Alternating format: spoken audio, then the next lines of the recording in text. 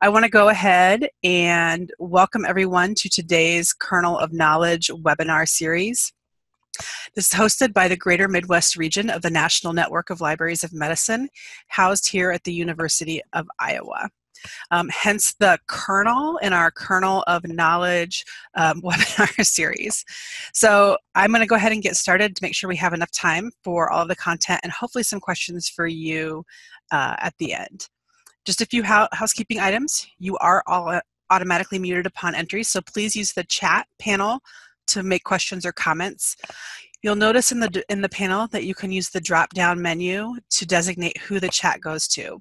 Please mark all participants if you would like to see, um, if you like everyone to see your chat uh, comment. You can also just send them directly to me. Um, also, this session is being recorded. We will post this on our National Network of Libraries of Medicine YouTube channel for future viewing or reference in the next week or so.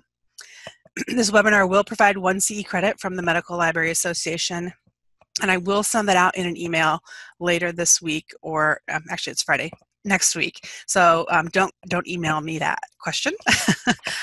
Um, and I want to introduce myself really quickly. My name is Bobbi Newman, and I'm the Community Engagement and Outreach Specialist here at the National Network of Libraries of Medicine Greater Midwest region. And it's my responsibility to connect with public libraries in our 10 state region as well as across the country. And your presenter today is Tony. He's the Assistant Director for the Community Services for Oceanside Library since 2015.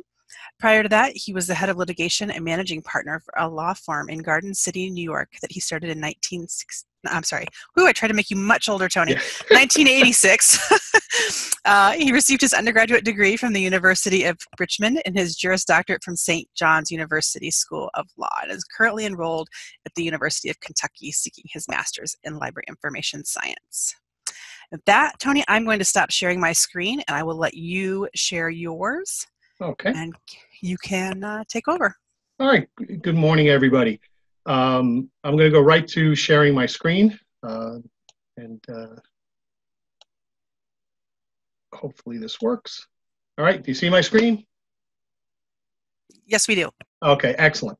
So first of all, I, I want to thank Bobbi and I want to thank the National Network of Library Libraries of Medicine for uh, for this opportunity. Um, library is a concept it's not a building this is something that we've been ingrained in in our culture in uh, in my building right from the start it is it's a concept it's not a building we're not we're not governed by the four walls of the uh, of the structure at the oceanside library our mission uh, has been uh, to be our community's leader in literacy culture early and continuing education discerning entertainment and to serve as its center we don't have a village. Uh, we don't have a mayor. Uh, we're part of the town of Hempstead, which is the largest township in the uh, in the United States. It serves about 800,000 people, um, and so we we we're kind of split up. We don't have a center, um, and so what we've been doing here at, at, the Oceanside Library is creating us as to be the center of our uh, of our uh, community. Uh, and I have to say right at the start, I probably have the best board uh, in in America, and I have the best director in America, and I have a, the best team in America. So everything that you're going to be hearing uh, about going forward is based upon the uh, the culture uh, that's been built at the library, um, and that comes from a board that says yes, that hired me specifically to make drastic changes in the way that the library works uh, and I have a director who says yes a lot, almost all the time. Uh, and when she says no, she's always right. And uh, and again, I have this wonderful team that we put together that just goes above and beyond. So information and entertainment. At, the core, you have to we have to all remember libraries have always been about information and, and entertainment. Before Andrew Carnegie started building the, the public libraries as we know them today, that's what we've always been about. We've always been about providing books. Initially, was books that contained information and books that contained entertainment. Next to the uh, Encyclopedia of Medical Knowledge, we had Charles Dickens, and we still do that today. Those those are two uh, main uh, main core functions, if you will. And the way we present that, does, it, it, the way we present it changes, but it, it ultimately does not make a difference. Um, whether it was cave paintings or whether it was chiseled on stone or it was papyrus or folios or hardcover or paperbacks or ebooks. It's always been about delivering information. It's always been about delivering stories. It's always been about the words. So just a little bit about Oceanside Library. Uh, we're a uh, suburban library on, uh, on the south shore of Long Island uh, in New York. Uh, we service about 38,000 patrons. Um, and and that's that's essentially who we are. A lot of what we did, a lot of the changes that we made over the last five years are a result of Superstorm Sandy, which back in 2012 really decimated our community. And the problem was that after we got back up and running, our library really didn't take the lead in anything. Uh, we did not become the center of providing information or support or anything along those lines. And our board wanted to make changes, and uh, that was one of the reasons why I got uh, I got brought in here. One of the things that we did was we drastically changed programming. We drastically changed a lot of our um, a lot of our policies over the last uh, year and a half or so uh, with uh, with our director Chris Mara. We've uh, we've looked at a ton of different policies about the way we deliver services, about the way we even market the books. Uh, and uh, going before this happened, uh, 14 out of the last 15 months, we had increased circulation. So that has nothing to do with programming, but it's just part of the mindset. We also changed the way we address problems. We had the opioid crisis hit right about five years ago in Long Island. We started losing a lot of uh, local kids. And so we, we took the lead on providing services and providing information and providing Narcan training and providing support groups uh, to really become the community leader. And when I say that the uh, the library we're not bound by the building. Um, we have been running programs online, not a lot before this happened, uh, but we've run a lot of uh, programs outside the building at local bars, at local cafes, in parks, in different stores and and uh, and businesses around town. Um, every month we run programs outside of the building uh, of all different types.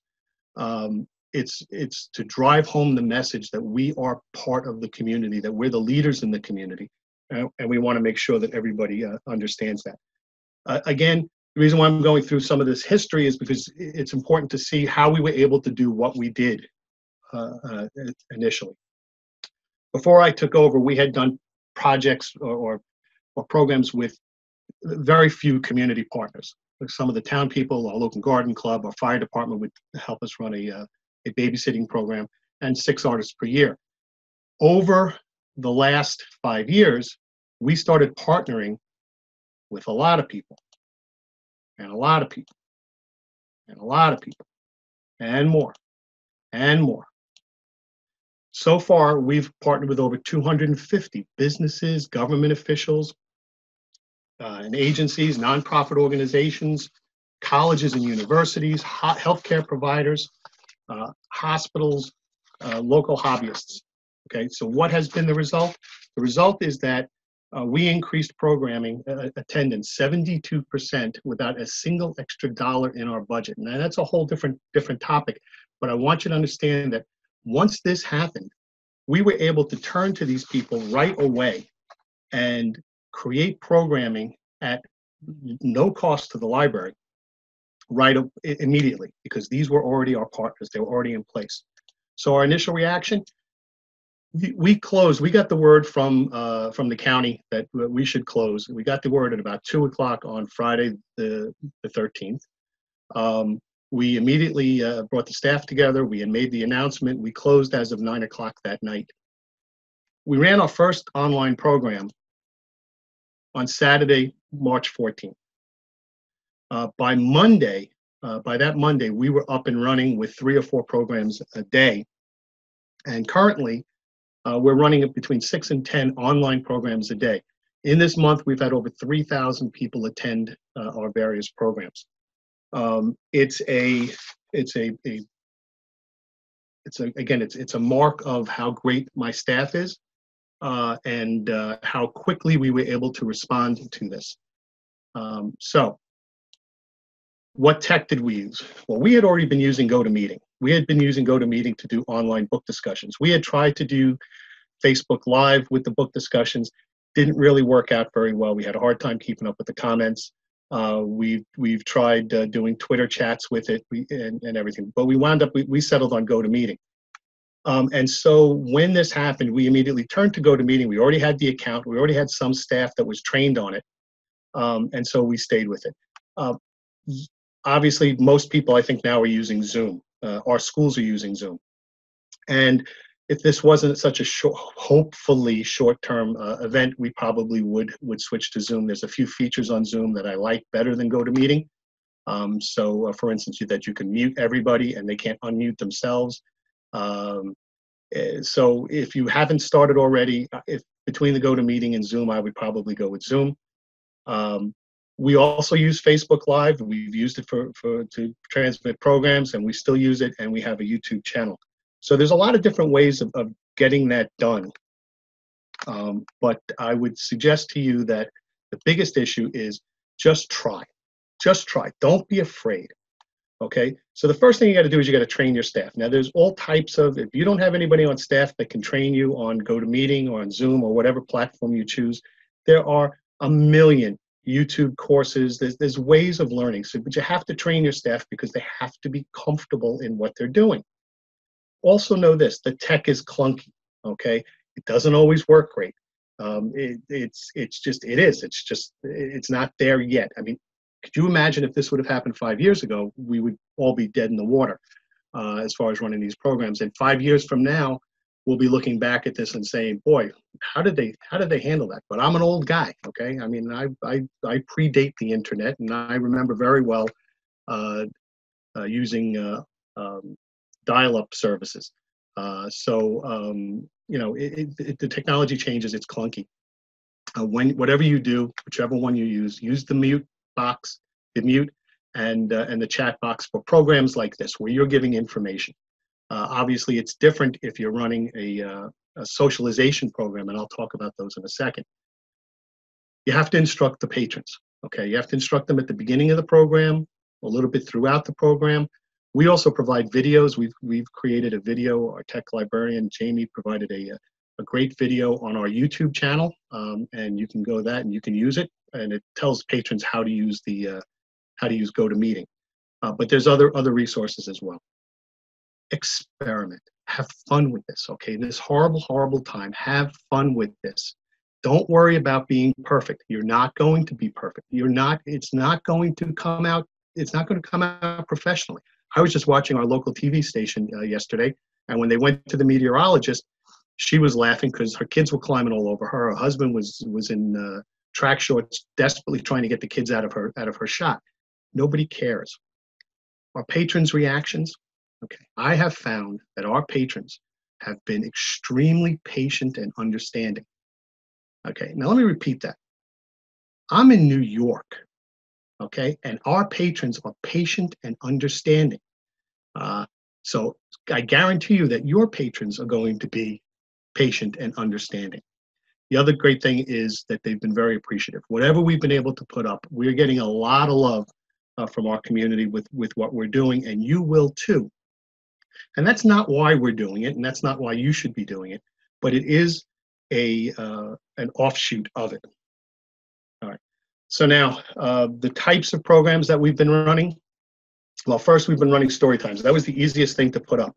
There was some initially some questions about um, whether we would have the copyrights, etc. We made the determine we made the determination immediately to to immediately start doing it. Um, and I, you know, part of this is again my background as an attorney. Uh, I've also been very involved in local organizations, local nonprofits, politics. And I said to my staff right away, uh, I cannot believe that there's going to be a publisher or an author who's going to, in this time, make a fuss over some library reading his or her story online.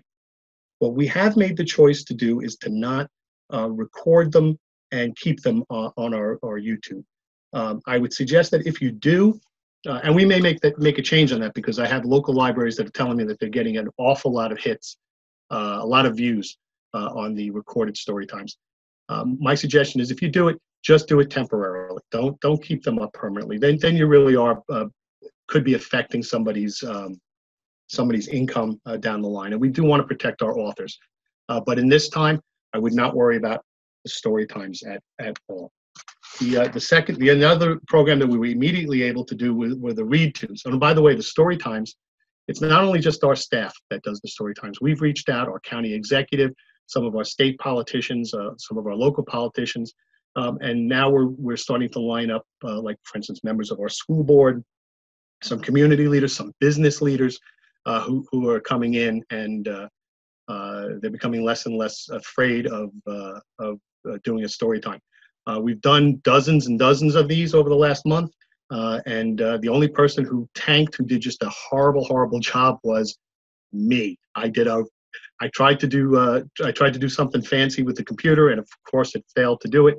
Uh, so you can just keep those, those story times uh, um, simple. The read tos, we have our, uh, one of our librarians is reading a young adult book, kind of going chapter by chapter each day. Um, and she has a, a, a, solid crowd that not crowd. She has a solid group of, of uh, kids that come uh, come in with her. Uh, as far as numbers go, um, I will throw some of the numbers out to you. Um, the uh, story times, initially we were getting 60 or 70 uh, in our morning session. That's down to probably about 20 or 25 each day. Uh, the afternoon story times that we've been running, uh, once our schools got up and running with online programs, we saw the story times uh, take a dive uh, in the afternoon. Um, and so, you know, we, we, are constantly looking at these and making adjustments. Um, that's why we say we ex experiment let me, I want to take a, a slight tour on the uh, side tour on this. At the library, at Oceanside, we say that there are two different types of programs that we run. We have numbers programs and we have impact programs. Numbers program, like when we run our Dr. Seuss birthday bash, we expect to get 750 to 800 people, and that's what we get. Uh, when we ran our own uh, Comic Con, we called it Ocean Con, we were expecting five or 600 people. We got more than that. I want that when we run a concert that we're paying money for, um, I want the room filled. But we also do a lot of impact programs. We do um, small group things. Like, for instance, we, we team up with the Alzheimer's Association to, to run a support group. Two or three people, five people, that's great. We do a lot of special needs programs. We probably run uh, during the, uh, when we're up and running, uh, 40 to 50, maybe more sessions of special needs programs a month. Um, if I run a sensory friendly movie where we keep the, the sound down a little bit and the, uh, the lights up a little bit and relax the rules about staying in your seat, when we run those and only two families show up, I don't care. I'll run those from now until St. Swithin's Day. So it's the same thing with the online. There's going to be some things that you're going to find that uh, are really going to work, and there's some things that aren't, and don't worry about it. Uh, the next thing that we did was immediately we were able to up and run with book chats and book discussions. Uh, we differentiate those two. The book discussions are about a specific book. That's the standard old book discussion. Um, we've been sl moving slightly away from those. And not, not that we're cutting them out, but we are uh, adding a lot more book chats, even when the building is open. And the way we uh, the way we uh, describe a book chat is that that's where somebody where people come in and just discuss what they're reading. Um, we had planned on rolling these out in a genre-specific manner uh, at the library before this this happened. That was in our next uh, slate of uh, of programs, but we're doing that now. So basically, we're saying, hey, listen, come on in, let's talk. What are you reading? What do you recommend? Uh, you know, let's talk. Let's talk about that. Um, and that's been the, those have been important, and they're easy to put up. You're just basically having a drop-in kind of a thing, and you'll see that we do a lot of that. Healthy Oceanside. One of the first programs that I put in when I when I took over back in uh, 2015 was we called it Healthy Oceanside, and we started running a series of health-related programs. Um, and I will tell you this: we run typically uh, when the building is open, probably six, eight, ten uh, Healthy Oceanside programs uh, a month, plus exercise programs, plus yoga, plus meditation. Um, at all at no all of the healthy oceanside programs with the exception of the exercise programs uh, don't cost us anything. Um, and what I did was reached out to local hospitals, local um, uh, local uh, healthcare providers to provide us programs. Um, and so what we were able to do was to immediately reach back out to those partners. That's why I told you about them. So Molloy College is a college just a, a few miles from our, uh, our library. We work with them. We work with every one of the colleges and universities on Long Island, and we, we're blessed with to have a lot of them. But we, but Molloy has a counseling center, and we had been working with them a lot. So that Saturday morning, I've actually, be honest with you, it's probably Friday afternoon. I shot them an email, uh, and we immediately that that first week had a, a how to how to cope when the world changes underneath you. Um, and since then, they've run a number of these those kinds of programs. Uh, how to how to address uh, address this with your children, um, coping mechanisms that, that you can use, things like that. We had a local pediatrician that had, had done a number of programs for us. He immediately signed on and came in and did a program again about what to watch for with your children, what to do with your children. Uh, we then have reached out to counselors and therapists that we've worked with in the past, and we've set them up. Same kind of a thing. Let you know that we, we set them up. Uh, we have a staff member uh, who uh, organ- is the organizer of the meeting and is there, and then uh, they make a presentation and they answer the questions that that people have. Um, we okay. One of the things that we do is we do have exercise programs, and we reached out to our presenters on those.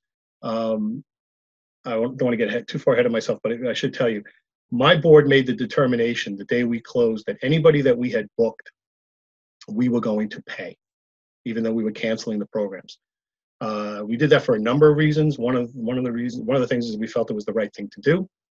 Uh, the second thing is that these are presenters that we use all the time, and we need them to stay in business. Uh, and we had already budgeted the money. Okay, we're in a kind of a, you know, we're not, listen, if I was still running the law firm and I had no income coming in, would I be making hard choices? Yeah. But you know what? We're still we're still having our budget money coming in. And so to hoard it or to to save a couple of dollars now, we just felt was the wrong thing to do. Uh, that's the way my director felt. That's the way my board felt. Um, and so it, it, we were able to do that. So we then were able to go back to, to these people and say, listen, we're paying you anyway. So how about you run a couple of programs for us? And they have all jumped on it. Uh, anybody that had the technology or that could figure out how to use the technology has jumped in. So we've run exercise programs, we've run yoga, we've done a lot of meditation, okay, uh, which is uh, um, you know have, have, been very popular programs for us. Now the Alzheimer's Association would run a lot of programs for us, and they would also do uh, count, uh, these uh, group these these group programs for their for caretakers, et cetera. And we also had a counseling group that was meeting at the library. Since they can't do that, they've set up their own separate uh, remote uh, access. And all we've been able to do for them, unfortunately, is um, is to advertise that and, and to drive our patrons uh, to use those uh, those uh, facilities. Um, I don't know yet, quite frankly, how many of our people have gone and used them, uh, but that's the best that we can do. When the opioid crisis hit, uh, we created or we helped create, and they meet at our library, uh, an organization called SAFE, which uh, provides um, information and education on all different kinds of uh, uh, um, substance abuse and mental health uh, issues. Um, and again, they can't run any programs for us per se, but what they've been doing is um, they've put putting up a lot of online content, and what we've done is, is we've shared that for them. Um, so so as far as whether you can replicate this, my answer is you absolutely can. Just contact your local hospital, contact your local counseling center, contact somebody that's in, in your community that provides this stuff. And I'm going to tell you, I guarantee you that they're going to jump at the opportunity. Somebody asked me uh, once how we were able to get all of these people uh, to work with us when the building was open back back in the day, and I kept saying, uh, what I tell people is this: you have to con- pretend that you're a business Okay, pretend that you're selling uh, selling advertising.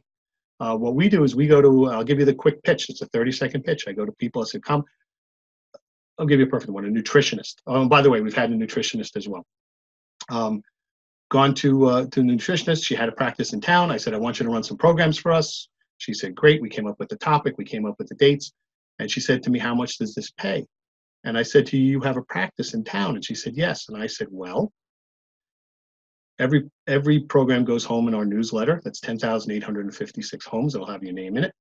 We have a 9,600 person e-blast with a 24% open rate. We do flyers. We have the second largest Facebook page of any library on Long Island. We have Instagram. We have Twitter. God help me. We have Snapchat. We, uh, if you want to do a 15 second or 30 second spot, we'll throw it up on, on YouTube. Uh, we get everything gets printed in the local papers. How much are you going to pay me? How much are you going to pay me to allow you to come and do a free program for, for us, given all of this marketing? Um, and uh, and that's how we were able to build up uh, th- this uh, you know th- this uh, cadre of uh, of potential performers.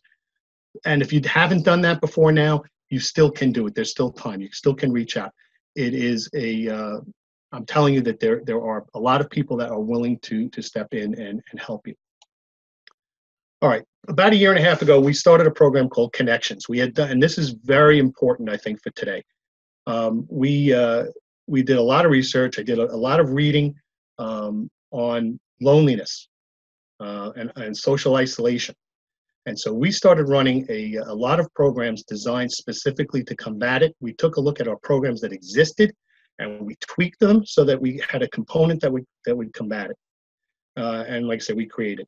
So what we've done now is obviously this is a huge problem, and and my biggest my biggest concern is that while we are reaching people that have the internet, I can't get to those who don't. So one of the things that we've done with that connections idea in mind is uh, we created these drop by and chats. It's just simply we we turn GoToMeeting on for an hour. We say, hey, come on, drop by and chat about sports. Drop by and chat about movies. Stop by and chat about anything. Um, and it's designed, in my mind, to have five, eight people, ten people, three people. Um, I did one last night. Quite frankly, two people showed up. But you know what? Those were two people who otherwise wouldn't have had any contact during the day. Uh, when we, and I knew this was going to work right away because we did one maybe the first Wednesday, and we were about halfway through, and one guy said, "You know, this is like seven o'clock at night." He said, "This is the first socialization I've had all day." Those were his words. That's an exact quote. So putting these things up, even if it's not a formal program, even if it's not a big presenter, presenter, just giving people a chance to stop in and chat. So one of the guys last night that stopped in is this guy Lenny. Lenny's a senior citizen. He lives over in one of the senior complexes. He comes to our programs a lot. He's a widower. Lenny, Lenny stopped in. He only stayed in the room maybe about 15 minutes, but it was enough for him to say hi, how you doing, how's everybody by you. Uh, it's it's a great service we did a parent and caregiver uh, drop-in where we said, you know, come come on in and and uh, and talk about, you know, how, how, what are you doing to keep to keep from strangling your kids, uh, and that went well. We started uh, back when the building was open doing TED talks. Uh, so what we do is we show a TED talk for 15 minutes and then we open it up for for conversation. We typically get 25 to 30 people. We do it at 11 o'clock on a Thursday. We we roll in the coffee, and they get to chat they get to talk with each other they get to interact with each other. Um, we, we've tried to replicate that. So we do the uh, we do the ted talk uh, uh, and then have a discussion. We then have, have had a number of staff-led discussions. Uh, we did a whole discussion. We have a, one of our uh, part-time librarians is uh, very big into broadway. So they did a broadway thing. They they, they we, we've done programs where people just come in and tell us what they're binge watching um, one of uh, one of our librarians has run a, a discussion about the uh, season ending of This Is Us. Another one is doing a, a million little things tonight. Uh, these are all designed where people can interact with each other. So as opposed to what we're doing now, where I'm giving you information and you're listening, uh, they're actually uh, uh, interacting and and combating some of this social isolation. Um, special needs. We've run a number of special needs programs. we do social hours where we just have people drop in. Uh, we did a special needs coloring program. We did a special needs arts and crafts program. One of our special needs kids, uh, he he's he's a DJ. Okay, so we did a DJ dance party, uh, and we've done book chats. Now we have a part-time clerk uh, who actually has his master's in education, and he has uh, take, he's our special needs coordinator. Uh, Michael knows all of these people. He's reached out to them personally, um, and again, we get a nice group. It's not huge. It doesn't have to be. They get to see each other. They get to talk with each other, and that's what part a lot of this is all about. Uh, outside performers, as I said, we're paying them, um, and so uh, they've all been willing to step up. The cooking programs are off the charts. Okay, people love the cooking programs. We've worked with the performers and said, as far as the cooking programs go, please, please, please make it about items that people would have at home uh, and make sure that you give alter alternates. You know, you don't have You don't have this. Can you use that? And people have been very good because the last thing we want to do with any of the uh, arts and crafts programs that we've been running, and we run those too, uh, and the cooking programs, we don't want people running out to the store to get something because oh my God. We do tell them what what they're going to need ahead of time, and we do tell them uh, what the ingredients are going to be. But we really, really stress: do not, do not, do not go out to the store to go get the stuff. Um, we have a gardening group, and we have the Cornell Extension that's near us. Uh, and they're they they're putting on a gardening program. So we've been able to. It's been very easy to convert the lectures that we were paying for uh, to um, you know on different topics for them to just do it uh, online, and uh, that's that's worked out well. Even our Play Hooray, um, you know, with the little mommy and me, the roll around programs, uh, we, we're able to put those on uh, online. Um, and then you can work with your presenters. Anybody that you had, had already contracted with or anybody that you use, listen, a lot of them are desperate right now. And uh, they are actively seeking uh, ways of being able to present the program. So if you can do it, um, I strongly urge you to do it. Reading clubs. Now we uh, convert, we used to have uh, summer reading clubs for um, the teens and the kids about, uh, well, when I came in, we, we, we added the adult one. Uh, but we were looking at it and it just was you know we had people signing up and it was this and it was that and it was very so last year we have a new uh, head of adult services uh, nadine uh, nadine and i sat down and we went through the entire process and we completely stripped it out completely stripped it out. We don't need to have somebody's library card number. We don't need to have their address. And we don't need, we don't need any of that stuff. So we basically went to an online uh, process. We use google forms um, and if you go to, we have a website called pagingoceanside.com, pagingoceanside.com, you'll see. Uh, so last year we uh, we went this summer we went to uh, this this online. We were basically just logging the books, and uh, we went up 400 percent in our participation. We had just under a thousand people, uh, just under a thousand uh, books logged in. Um, so since we were online already, all we did was uh, I guess it was we were about a week and a half in. We just created these. We recreated our summer reading reading clubs.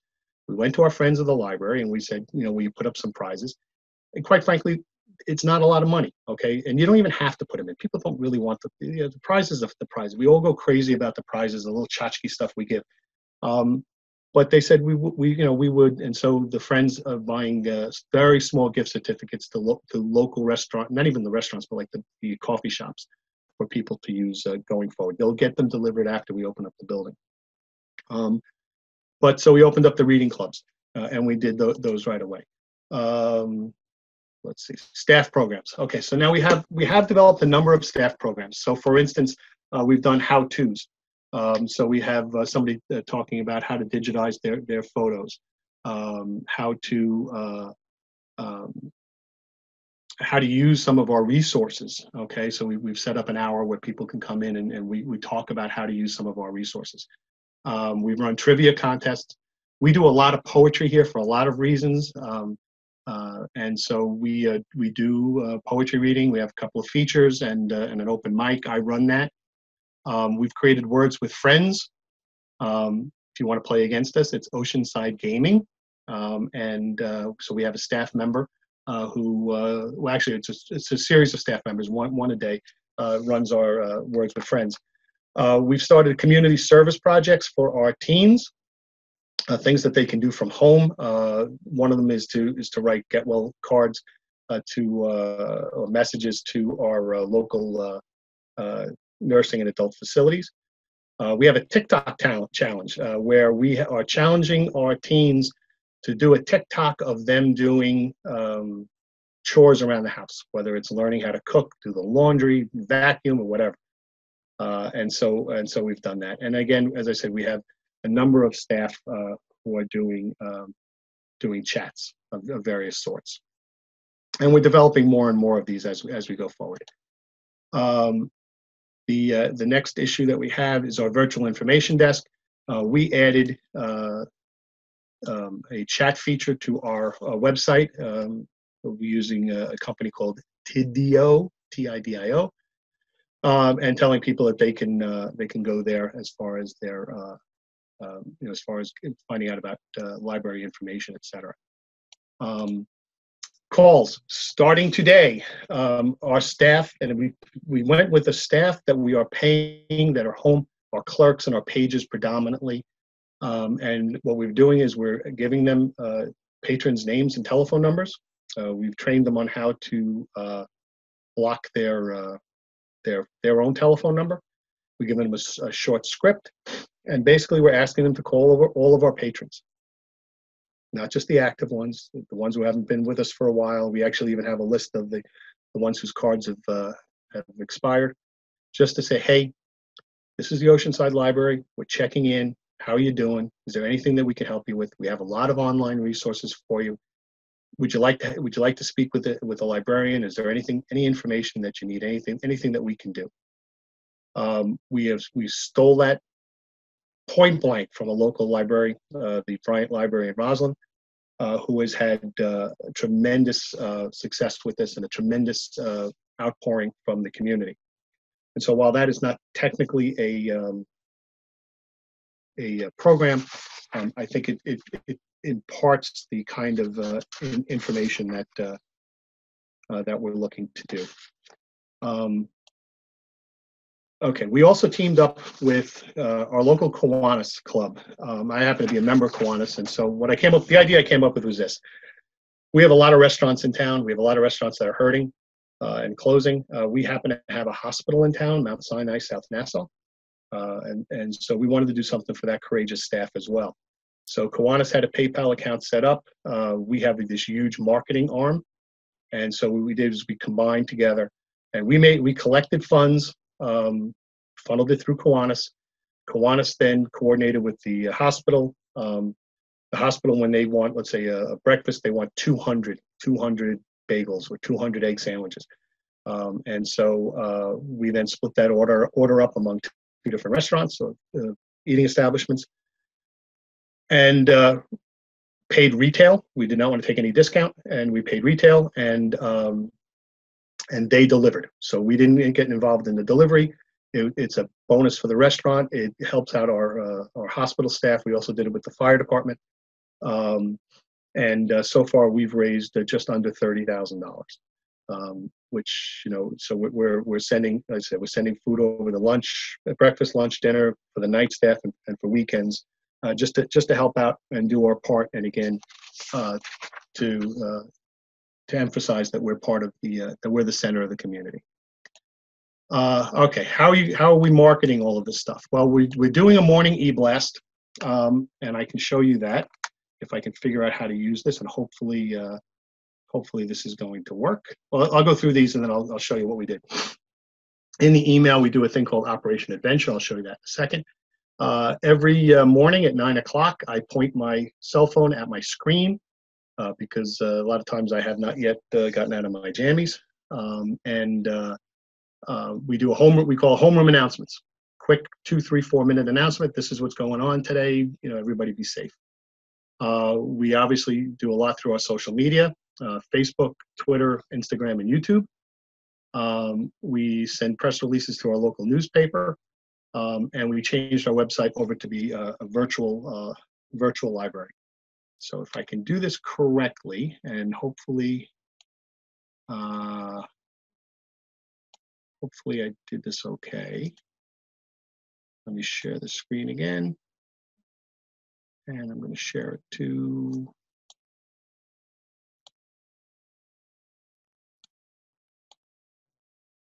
Okay, so this is what our, our daily e-blast looks like. We do a little greeting, okay?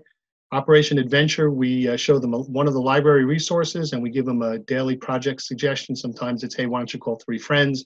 Why don't you clean out that closet? You know, that kind of thing. Uh, we give them library news. This is pretty static. We talk about our uh, online uh, book clubs. Uh, we talk about, we now provide a digital, uh, temporary digital library card through the Nassau Library Service system which has been phenomenal. Uh, we have a uh, we redid our front page of our uh, of our website. I'm going to show you that in a second, and we talk about our joint project. And then we list out. We use Event Keeper, so when you click on any of these links, which I won't do because I'm afraid I'm going to lose it, uh, it goes right to uh, the instructions on how to go to the go-to meeting for that program. So you can see that on Thursday we did an online story time, we did a play hooray, we did a TED talk, We did a book chat. We did another story time. We did that read along. Uh, we had an online program of uh, brain teasers, jokes and riddles that was done by one of our um, of our uh, children's librarians. And we did a drop by and chat for sports. And then we put some of the some of these things. We, we've been stressing the census as well. Um, the, we do a little publicity for upcoming programs. That TikTok program I was telling you about, the Spread Life Skills, uh, and the Words for Friends. Uh, our home, our new homepage looks like this um, where people can kind of bang in. We give a lot of information about, uh, obviously, about the coronavirus. We share, by the way, all of the time on our social media, uh, any of the uh, the reports from our, our local government, from uh, Governor Cuomo, um, and any other information that might that might be needed. Uh, we have uh, one group in town that has been keeping track of which restaurants are open, and so we share that all the time as well. Um, so get back here. Meeting controls. Uh, there we go. Stop the share. Okay, so um, you know, I'll, I'll I just want to say it at the outset, um, or in conclusion, if you will. It's never been more important, never been more important for us to be good at our jobs. And being good doesn't mean, as I said, doesn't mean being perfect. But being good means trying. Um, John Kasich uh, said recently, a while ago that in many ways America is broken at the top. Okay, we have a hard time discussing things with each other. But on the local local uh, local levels, we still work. Okay, we still help each other out. I I made a career shift a major career shift to come into here because I honestly believe that libraries are, are the last institution that works in America. Our people need us. That's it doesn't mean that they need there's not as while we can't do the things that we need to do in the building, we can provide them with with a connection with each other, with some socialization, with making sure that they get real information. Okay, we want people turning to us for those of you who are librarians, you know, out there, particularly public librarians, we are now recreating an entire profession. Those who were in this in this in institution 10 years ago, obsolete. Five years ago, obsolete. Okay, but that means because we're getting to create it, we can do different things. We can take chances. It's the, the many ways this profession is changing from listen, they no longer we no longer have a monopoly on information. We no, have, no longer have a monopoly on on on books. People have always wanted. Uh, we, we've had this information that we wanted to get to people. We have to be have to be cognizant of the fact that we can have all the great reference books in the world up on the shelves. If people aren't going to open them, they're not getting the information.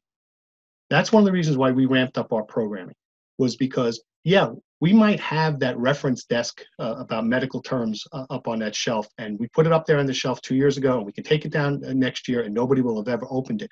But you know what? If you bring in a cardiologist, or you bring in a physical therapist, or you bring in a nutritionist, and people come to your program, you're now delivering the information that they need in a manner and in, in a form in which they need it. When we run book discussions at two o'clock in the afternoon, we're going to we're going to be running in the library. We're going to be getting a certain uh, group of people and that's important and i'm not downplaying that. But i don't know about you guys but we have uh, tens of thousands of people in my community that are working that are going to school that can't get out on a two o'clock in an afternoon for book discussion. We have an op- we have an obligation to reach out to them as well. What we're doing now during this crisis many of the things that we're doing, we're going to be able to continue after the building opens up. The fact that we can do a book chat with people at eight o'clock at night after they've put the kids to bed, okay, they can grab a grab, grab a glass of wine. That's a great thing. That's a great opportunity. Does it mean we're going to have to shift around some resources in the future? Yeah. But what I would urge you to do is during this time, as horrible as it is, as scary as it is, this is a time for us to experiment. It's a time for us to, to continue with the mission that, that we've signed on to do and to get out this information and entertainment out to, uh, out to our public as best as we can. So. thank you very much, Tony. This has um, been great. I'm talking uh, to colleagues on the side, like you should be here. Um, I, I've been copying and pasting questions into from chat, and so I'm going to go through some of those right now. We've got some really great questions. Um, so I, I think some of these you answered maybe a little bit later, but we'll just go ahead and, and redo them. Um, so there's a question about running the book discussions. Are you using Facebook Live or Zoom, and do you have people register? Uh, we have we're using GoToMeeting um, because, like I said, we had been using that in the past. We do not have anybody registering now. I know that there's some concerns with Zoom about making sure you have um, you have passwords and stuff. We you know we just haven't done it yet. Um, I I I hate I hate putting up any kind of of, of block uh, on on getting people in. You know, and one of the things that we've done at the library, you know, and and I, there's another thing I should have said you're going to get people that are going to complain. Okay, you, you, you make it Zoom bomb. Okay, ah, and after everybody finishes clutching your pearls, you move on as, as adults. Um, you're going to get people to complain, but we have to get away from you know the typical way that libraries deal with when somebody complains is we stop doing what we're doing and we put up seven signs around the library saying why we're not doing it or why you can't do it anymore. You just got to push through that. You know, we, as I said, we service about 38,000 people. If I get two complaints, I'm going to keep doing what I'm doing as long unless the complaint, you know, is, is we, we listen and we, we make adjustments. But I'm not I'm not overly concerned about that stuff. So we don't we don't like to put up barriers. I don't like uh, where, wherever we can we try not to, to register. Great. And there was a question about uh, bombing, so I guess you haven't had any of those incidents. Well, I, I said before we started the program, yeah. we actually had a situation where we had put up a smart TV um, and this poor woman uh, was sitting waiting for a book discussion to start, and she's a woman of a certain age, and um, somebody hacked in and put just really vile porn up, up on it. And we were, you know, we apologized all over the place. We were very upset about it. Um, but she's an adult. And she understood we didn't do that on purpose. Okay, that wasn't part of the plan. Um, I will say that that the discussion group's uh, size tripled in, in, in number once it got out that we were showing porn during the book discussion but it's and that's a joke everyone it's uh they um you know these things happen i mean obviously the one we're most concerned about is with kids uh, but uh, i'm not going to stop running programs and i'm not going to put barriers up on the odd chance that something something bad might happen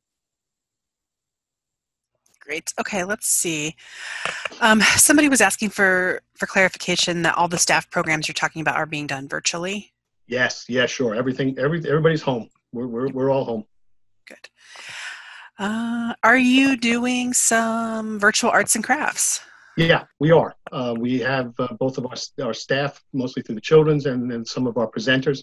Um, again, we've asked them to modify it to make sure that it's something that people are likely to have around around the home. We're letting people know ahead of time what we're using. Uh, we're making sure that we tell them what other stuff they can do, and we're stressing: do not, do not, do not go out don't be going out to the store to get stuff for this. It's not it's not that important. It's really just based on what you have, what you think people have around the house. Sure, as best you can. You know, it's it's that's that's what this is. You know, it's uh, um, we un- we understand that, but like I said, we we don't want people running out. You know, for this. Yep. Uh, another good question. Um, th- someone who's in a library that is a little nervous about liability around exercise programs. Are you using a disclaimer? Do you have any advice about disclaimers? Um, well, I will tell you that uh, we are we using disclaimers. I think yeah, I think we have it as part of the thing. You know, the uh, on the event uh, keeper. Uh, you know, to to to watch it. I will tell you this. Um, you know, and I'm not giving legal advice. Okay, and I'm not, but I'm going to tell you that um, you can have all the disclaimers in the world. It's not going to stop you. That's what you have insurance for. Um, and I will say this also, and I know every time I say this, my director gets angry with me. But I will tell you this I was a trial lawyer for 30 years. I've never been lied to as much as I have in the library world. And I don't mean that that as a uh, cannot tell you how many times I've been told you can't do that because the insurance policy says no. Now I've read thousands of insurance policies and I pulled ours and I was able to show that person doesn't say that. They li- the, the, the insurance company doesn't care. Um, or I've been told, oh, no, no, state regulations say you can't do it. And I'll say, well, show me the state regulation ah, ah, ah, ah. So, you know, again, yes, I would definitely put a disclaimer on. definitely when people sign up, if you want to give a disclaimer at the beginning of it, that's a smart idea to do. Uh, but again, that's not something that's going to stop us from doing it. Uh, a couple people coming back to sort of the numbers question. I know you talked about this a little bit, but on average, how many people are you getting um, for these programs? Again, it depends. It depends on the program. Um, like I said, the, the, the story times in the morning we're down to about 20 or 25. Now that's 20 or 25 logins. Okay, so I assume that there's some siblings there. I assume that there's a parent or caregiver there as well. Um, on some of the the chats, it's it's five to 10. Um, on some of like the trivia, was 40 or 50. The pediatrician and the uh, and the other ones, we were at 70, 75, 80. Great. Um, someone asked, what does SAFE stand for? I don't remember. I honestly, I honestly, it's, it's funny. I actually, and to tell you the truth, I did the incorporation for them, and I got them their 501c3 status, and I don't remember what SAFE stands for. Uh, I honestly don't remember. I'm sorry, but it's uh, it's they're designed for mental health, uh, mental health and, and substance abuse. Uh, it's Operation Safe. Uh, when you're doing videos and things that you're sharing, are you are you sharing that while in the virtual meeting, or are you having people watch it and then join for discussion later? Um, with the video, we had to um, we had to have them watch it ahead of time. You know, the the, the uh, only because with GoToMeeting we couldn't figure out how to um, how to have sound come through when we were sharing our screen. Um, I know that they did another one yesterday, and I apologize to you. I was I meant to swing back with. Uh, our project coordinator who who did who ran it to see whether they figured out the technology on it. But uh, yeah, for, I think for something like that, I think we we came down to that we were going to tell people, hey, go watch this, and then we'll discuss it. But she actually she said she had about 20 people in it yesterday, so it must have gone well. Good, good. And let's see, how um, how many GoToMeeting licenses uh, or accounts do you have, um, and how do you manage registrations? Okay, so we um, we had what we had had one account already, uh, and just so that you know the the costs, um, the GoToMeeting. I think if you take it on a yearly basis, it's like fourteen ninety five a month. Uh, if you get a month to month, it's like nineteen ninety five a month, and I think Zoom is right around the same. Uh, we were just using one license, uh, one organizer, and we just use a generic name so that other, you know, so everybody can ju- jump in on it but we would we were banging into each other. We were running programs that, would, that one program was landing into the other. So we just added a second organizer, and then I have a personal go-to meeting that I had been using for, for legal purposes and stuff like that. That I was also using, quite frankly, with my family, my college college classmates, my you know cousins, um, and so occasionally I'll throw one on there as well. Um, so you know, technically, I guess we're probably using uh, three uh, right now so that, would be a cost of about sixty dollars a month, um, which you know is was not really the main main concern. But we we now have split it off where we're treating it almost like the rooms in the library. You know, we in our library we have the big meeting room, the meeting room one, and then a smaller one, meeting room two, and so that's how we're we're chain, we're doing the organizers. Okay, uh, somebody who is it a has a director who's concerned about social media like TikTok or Snapchat. Um, do you have policies in place for these kind of apps and the outreach you're doing on them? Yeah, you know, we actually haven't used the Snapchat much. I got much. I got challenged by a bunch of seventh graders to, to put it up, and so we did. So we, we don't really use it. I, I like to say it because it, it makes people laugh. Okay. Uh, but uh, the other stuff, no. And you know, we're one of you know that that's it's something I've seen on some of the Facebook uh, uh pages. We have a lot of people uh, in my library who have the authority to post to Facebook and Twitter and Instagram. Um, and the reason we do that is we put in a protocol about how often we want posting done. You know, we've by the way we've we've increased that. We we do doing a lot more posting now during this crisis. Um, and I've laid out the protocol and said, you know, don't step on each other. And you know, generally this this is it. And I see so many libraries, and I guess everybody is different, but I see so many libraries where everything gets funneled to one person and it's like they don't trust everybody else to put stuff up. You know, we, they're so fearful that there's going to be a uh, a, uh, a, posting that's going to be uh, off for some reason. And my feeling is if you don't, if you have a staff member that you don't trust to post something to Facebook in a responsible adult way, then that person shouldn't be dealing with your patrons, shouldn't be dealing with the kids in your building. Um, and it's a management issue. Um, we have different voices. Our Facebook page is, is pretty what you would expect from Facebook. Okay.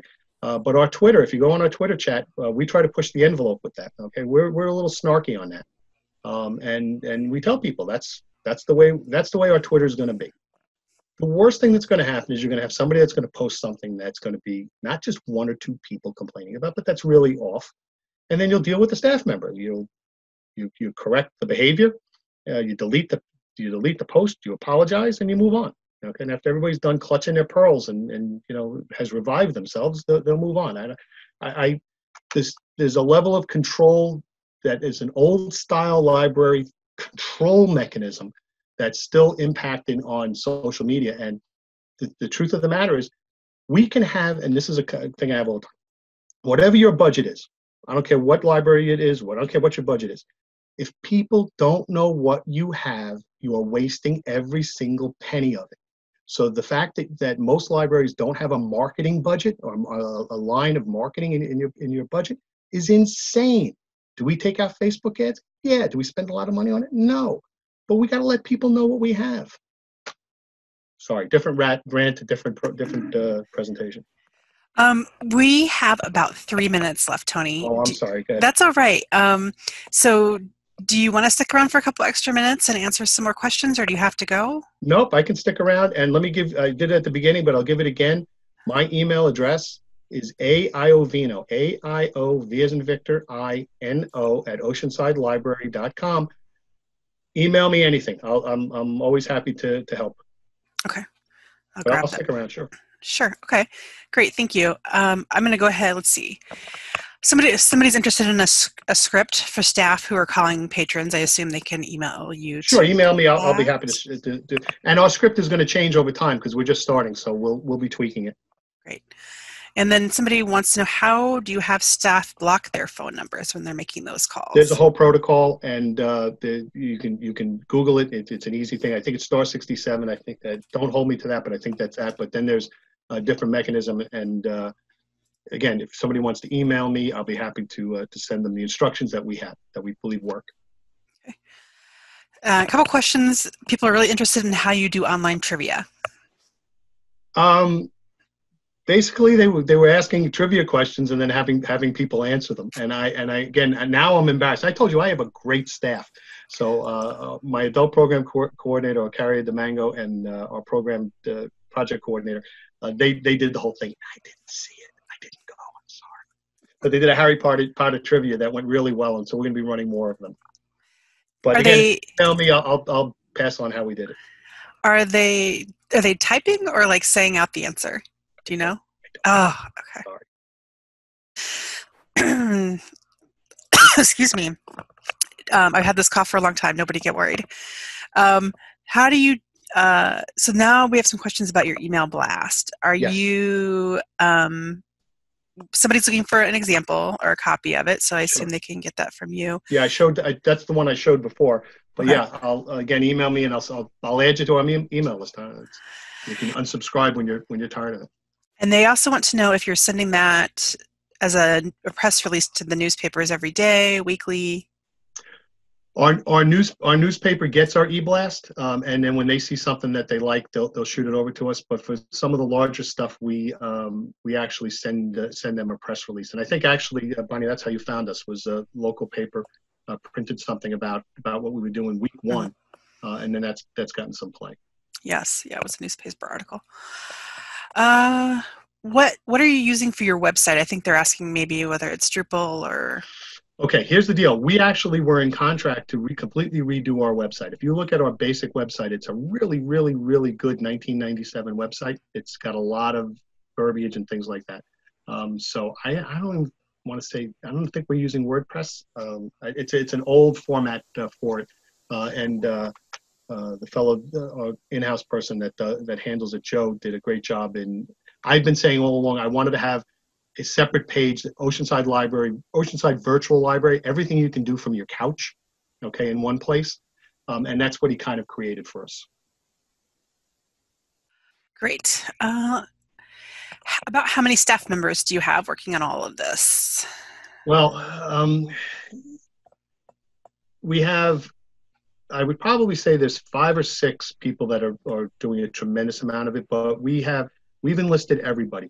We told everybody when we closed the doors that this was not a vacation, okay? That uh, everybody was on call, um, and so we've been reaching out, and all of the librarians now are are engaged, either doing that chat feature uh, or um, you know. So it's probably about 10 or 11 people, I would say, plus, you know, I mean, doing little bits and pieces. You know, we have a couple of librarians that are doing three story times a week, you know, that, that kind of thing. We, we split up the work pretty well, with the exception of my way overworked uh, adult program coordinator and project coordinator and the department heads.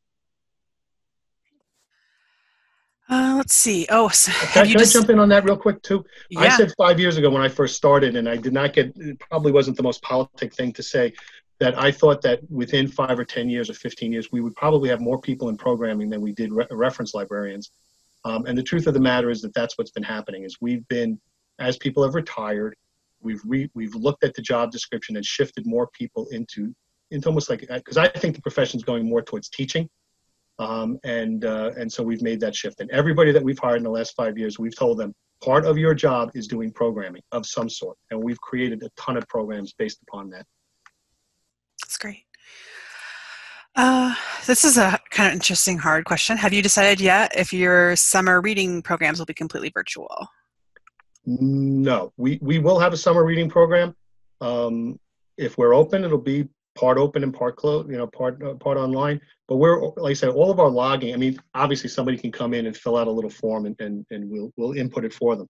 But all of our logging last year was done online, and it's so whether we're open or we're not, it'll be fine.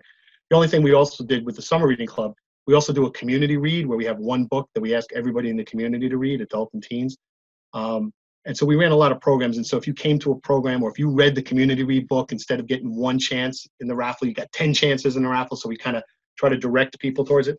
Um, but uh, yeah, we'll make that determination because we don't know what's going to happen here in New York. I, I have no idea when we're going to be back open and then when we're going to start running programs. And then somebody wants to know what do you use to log summer reading? We use Google Forms. So if you go to that paging ocean, pagingoceanside.com, you can see uh, it's, it's uh, I think we're calling it the comfortable, cozy book book thing. Or, or uh, um, if you go to our webpage, you, will see that there's a, a, link. And we use Google Forms, and we just we take down the basic information we need, and then we actually use that. E- you know, those those people that that log in, we then take their information and uh, we use it to promote author visits, book discussions, book chats, the next reading clubs that come up. Um, so it's a great source for us to find not only readers but readers that like to participate. Okay, I think our last set of questions are tied to virtual programming and how do you um, decide on statistics for those for reporting. So you just use logins? Do you add a couple extra because you assume siblings and caregivers are present? GoToMeeting um, provides us with a list of uh, every every meeting, the maximum number of attendees that were in that session, uh, the time of the session, et cetera. So we're just going to pump out that report. Um, as much of a numbers guy as I am, and I do usually take take, uh, I'm, I'm not busting my people's chops about this. We're, we're gonna, you know, it, it is what it is. I, I'm not. Listen, we've got. An, I mean, I, I I'm assuming it's the same for everybody across the country. Uh, but at the end of the day, uh, everybody here's got too much going on at home, and too, you know, I'm pushing them very hard, um, and they're joyously doing it. Uh, all this programming, I'm not, I'm not worrying about the ticky tack stuff. We'll put up the numbers. We put up the numbers. By the way, New York State, although we have, we have a tax cap, so there's so much we can raise taxes. We uh, we get virtually no state aid. We get nine, and we just got a 40% cut, four zero percent cut in state aid. Um, and that was before this. That was before this uh, crisis. Uh, so when they want us to fill out the numbers on the state reports, I don't really spend a lot of time. I don't really care. Okay, well, um, thank you, Tony. That is the last of the questions that, that I saw, and I apologize if I missed anyone's um, questions. But you do have Tony's email address, and he will respond to you, I'm sure. Uh, just a couple of wrap up things from me. Uh, if you're interested in taking other webinars from us, in particular uh, related to the COVID 19 crisis, there's a few more coming up later this month. The first one is leading with compassion during the COVID 19 crisis. Tony, it sounds like you're doing a great job with that. Um, we have a number of panelists, I don't have all of them lined up yet, but I will ha- have their biographies in there hopefully by um, early next week. But you can go ahead and register. And Jacqueline, my assistant, is putting those in the chat box right now. The other one coming up is about self care for library staff during the COVID 19 crisis, and I am, working on panelists for that as well. Um, but you can go ahead and register now so you have that on your calendar. Just a reminder that the CDC is your uh, best choice for COVID 19 information and your local health department. But I, in particular, I wanted to draw everybody's attention to a section of the CDC website you might not know is there, which is about daily life and coping right now. And I particularly like um, that they have a separate stress and coping section and then a, a section for those of us with uh, animals. I think the kids one is, is to be expected, but the animal one was a nice surprise when I was checking it out. Um, if you're wondering what next, if you're not a member of the National Network of Libraries of Medicine, please consider joining.